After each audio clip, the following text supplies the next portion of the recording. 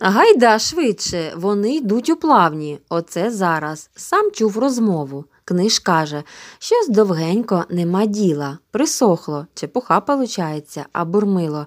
Да-да, пора кінчать. Поїдемо сьогодні. Я ж не винувати, що застудився, захворів.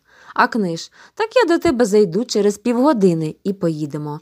Швидше, Павлушо, я відчуваю, сьогодні щось буде. Гайдану. Розділ одинадцятий. Трагедія в кукурудзі. І хто б ви думали, нас врятував. Нам не довелося довго сидіти в кущах біля бурмилової хати. Не минуло і кількох хвилин, як з хвіртки вийшов книж, а за ним бурмило з мішком за плечима. Бурмилова хата стояла за школою край села. Одразу за нею починався величезний масив кукурудзи. Попід масивом гадючилась польова дорога. Книж і бурмило пішли дорогою, а ми з явою понад дорогою, скрадаючись у кукурудзі.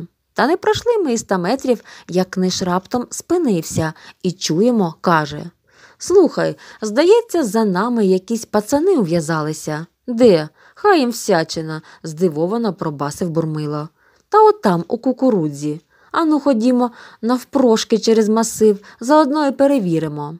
Ми з явою гепнулися на землю і, мов зайці навкарачках, дременули вглиб кукурудзи. Шорстке кукурудзяне листя зрадницьки шурхотіло навколо, і не збагнеш, чи то од вітру воно шурхотить, чи то хтось іде. Здавалося, книж і бурмила вже буквально над головою, от-от наступлять і розчавлять тебе, як жука кузьку. Відчуваючи в животі противне ой-ой-ой, я біг навкарачках все далі і далі. І коли вже геть чисто пообдирав коліно, спинився і припав, хекаючи до землі. Більше не можу, хай наступають. Але ніхто на мене не наступав. Я полежав трохи, прислухаючись шу-шу-шу, ширх, шу-шу-шу, весь час не перестаючи шурхотить кукурудза. І не чути в тому шурхотінні ані книша, ані бурмила, ані мого друга яви. А щоб побачити і думать годі. Далі свого носа нічого не бачу, суцільне плетиво з кукурудзяного листя. Ох, і густа ж кукуруза, густіша за всякі джунглі. Полежав я ще трохи, вуха нашорошивши. Нічого, нічогісінько. Де ж це ява? Ми ж ніби поряд рачки бігли. Яво, кричу я нарешті пошепки. Ява враз підхопився.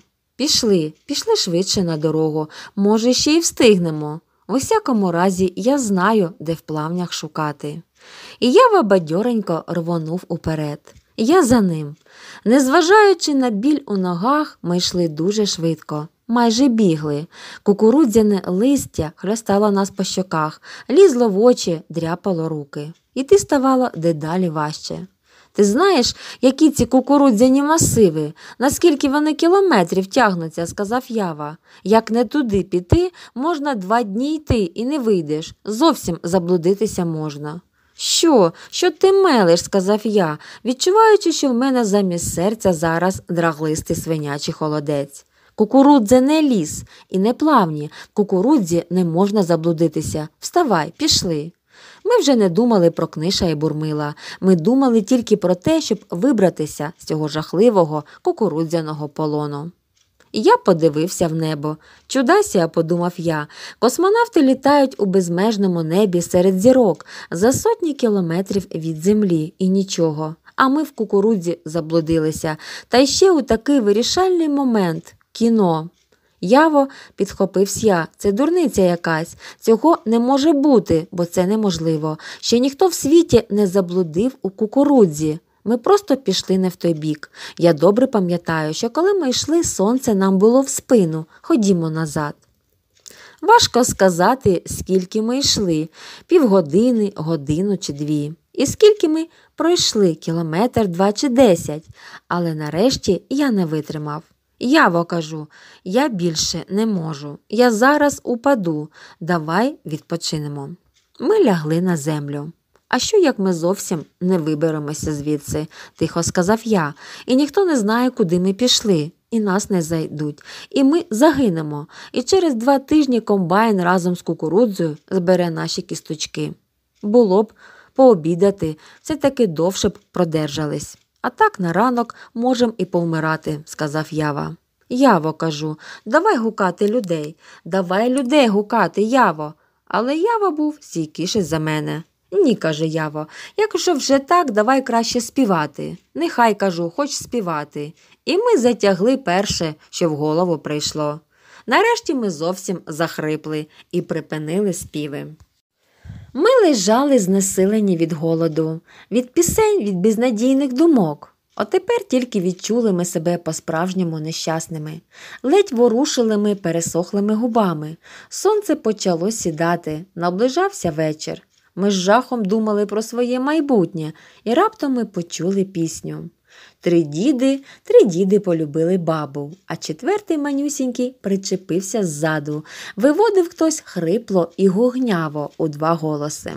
Нас аж угору підкинуло, мов на пружинах. Люди. Гей, гей, скрикнули ми і замовкли, прислухаючись.